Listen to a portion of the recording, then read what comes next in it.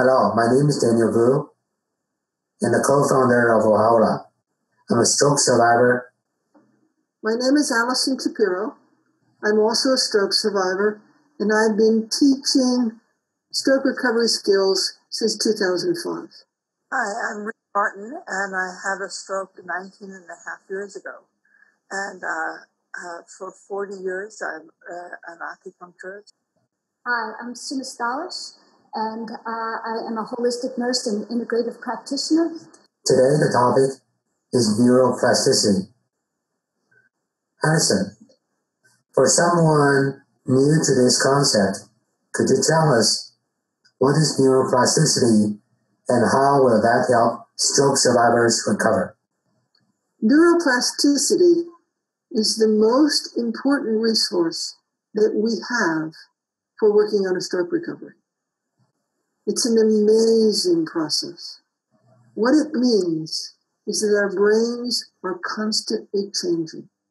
Plastic is the word that means changeable. And that's what our brains are doing. Every minute of every day, our brains are rewiring, making new connections, and making new things happen every minute.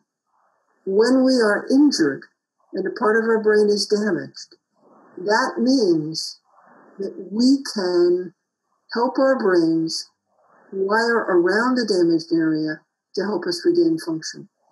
It's wonderful.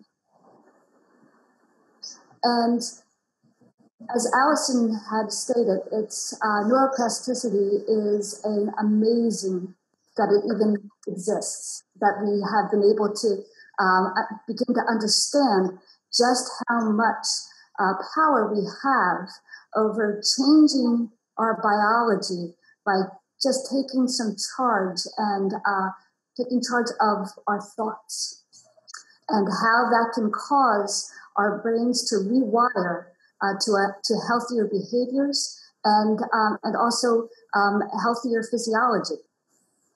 Thanks uh, for your inputs. Allison, given your own experience, could you tell us what did you do to maximize the benefits of neuroplasticity in your own recovery? And what could we learn from it? Thank you, Daniel. That's a very big question. There is so much we can do once we begin to understand neuroplasticity.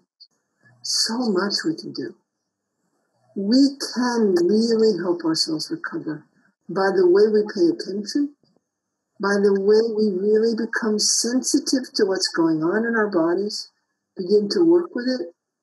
If we have small changes that are occurring, some small change is beginning to happen, maybe just a tiny twitch.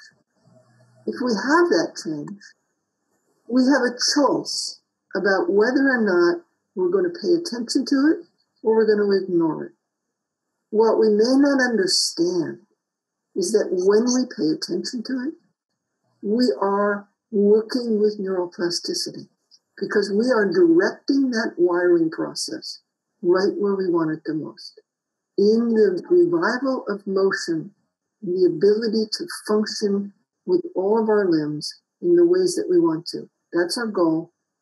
And neuroplasticity and the way we work with it will help us reach that goal.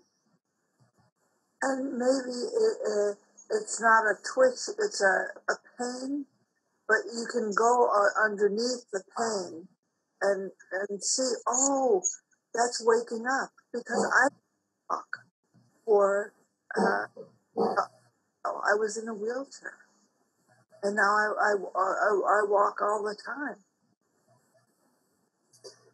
Allison, for someone trying to learn about neuroplasticity, what information they can find on your website? There are a number of things on the website. One of the things on the website is the blog I write.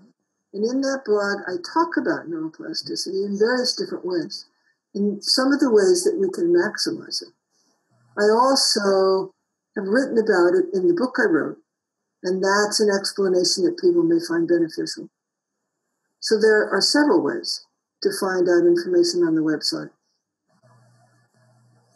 Thank you.